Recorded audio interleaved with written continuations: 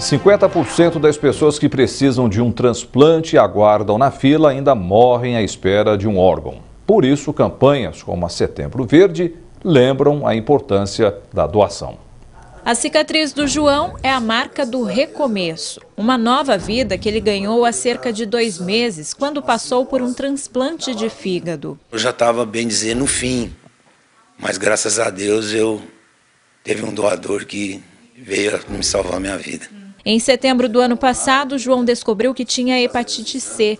O fígado já estava completamente comprometido. Foram quatro meses na fila de espera por um novo órgão. Antes de tudo isso acontecer, a família sequer pensava na importância de uma doação. Porque você só vai pensar a hora que você passa pelo problema, né? Então, a gente passando pelo problema, a gente viu tanto que é importante. Que ele está vivo, meu marido está vivo graças à doação. No Brasil, mais de 32 mil pessoas precisam de algum tipo de transplante, mas 50% acabam falecendo na fila de espera. O tempo para conseguir uma doação depende do órgão que o paciente tem que receber e também da compatibilidade com o doador. Por isso, campanhas como a Setembro Verde são fundamentais. É um alerta para famílias como a do João, que precisam conversar mais sobre o assunto e, assim, salvar vidas a pessoa simplesmente ela tem que manifestar a sua vontade para a família, né, de ser ou não um doador.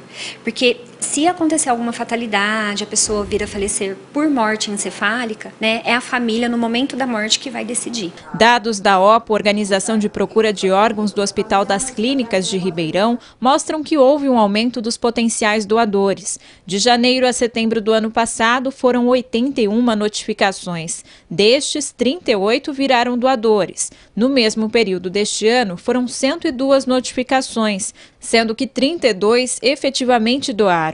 Apesar dos números, esta enfermeira da OPO diz que, de maneira geral, as doações têm diminuído. Falta um pouco de mais de campanha, falta também a, o, realizar o teste de morte encefálica e falta também muito e muito, que a gente tem um índice muito alto, é de recusa familiar.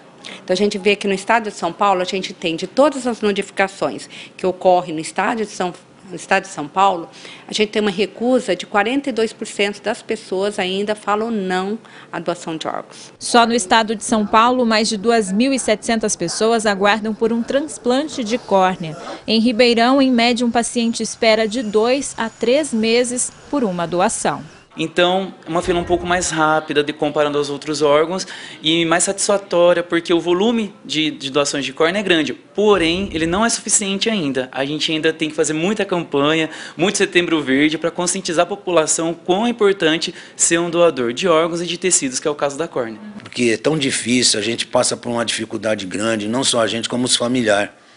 Então, hoje, eu, que nem eu, assim, por ter passado por isso, eu penso assim, eu acho que as pessoas podiam ter mais um pouco de consciência e ajudar, porque hoje é do ano, muita gente vai ser feliz. Cláudia Prates para o Jornal da Clube.